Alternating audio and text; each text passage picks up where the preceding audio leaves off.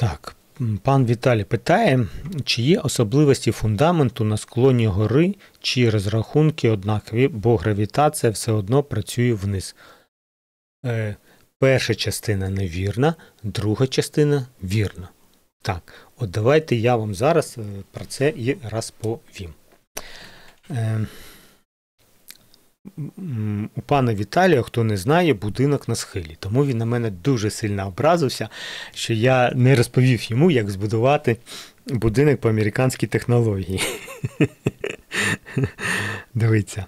Е, дійсно, коли будинок у нас на схилі, каркасний будинок це той, котрий можна розглядати як один із головних технологій в такій ситуації, тому що нам дуже важливо, щоб сам будинок був легкий буде менше навантаження на схил. І це пов'язано саме з тим, що гравітація йде донизу.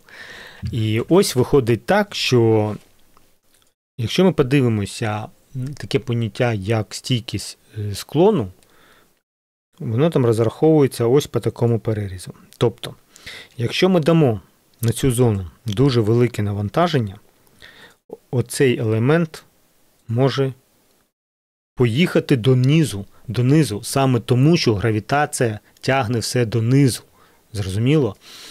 І виходить так, що коли ми будуємо на схилі, головне, щоб ґрунти залишалися максимально близькі до того, як вони були. Е, тобто, якщо ми робимо свайний фундамент, бажано, щоб сваї не були доволі часто. Тому що якщо їх буде багато, вони створюють перешкоду руху води, котра також іде донизу тому що гравітація донизу, і може відбутися перенасичення ґрунта вологою. В результаті більше вага, більше змазки, і склон зрізає разом з усіма сваями. Тому по правилах йде розрахунок, і свая вона йде глибше. Бачите? Тому що от в цьому місці робиться розрахунок на зріз. Витримає свая на зріз чи не витримає? Витримає вона навантаження цього ґрунту чи не витримає. Розумієте? Тому виходить так, що коли у вас легка споруда і свай мало, ну мало хто з цим безпокоїться, так скажемо. Але коли у вас споруда важка, наприклад, і ви робите буронабівні сваї, бетонні, котрі мають великий переріз, або починаєте ставити багато свай котрі створюють перешкоду руху води, тоді оцей розрахунок на стійкість склону на зріз свай є обов'язковий. Обов'язковий. Для того, щоб нічого не зрізало, ніхто нікуди не поїхав. Зрозуміло? Тому е, все ж таки е, на склоні обов'язково треба, щоб підклю, підключалася організація, котра робить підсилення склонів. Ну, В Києві це Супр. Супра називається в Києві. Так як ми не будуємо в Карпатах, в Закарпатті, я, на жаль, не знаю, хто там цим займається.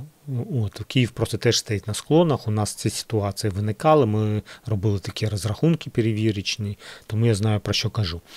От, е, Хто в Карпатах цим займається, я не знаю.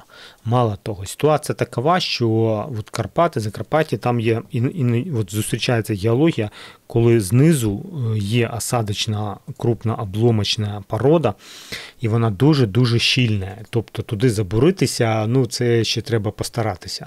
Розумієте? Тобто, в такому випадку е, ми фактично спираємося, вгризаємося в цю скелю, спираємося от, і стоїмо на ній.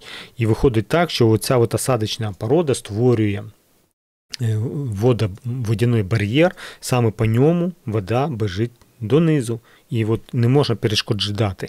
Тому треба обов'язково робити так званий перехоплюючий дренаж.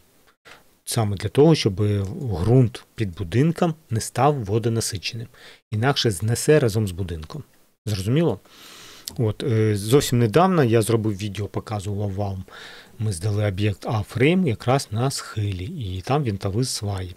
І там в проєкті із замовника ми попереджали, що обов'язково треба буде е, запросити організацію, котра працює зі схилами, тому що треба розробити дренаж додатково. Ми, на жаль, цим не займаємося. Це дуже така вузька спеціалізація, дуже вузька. От.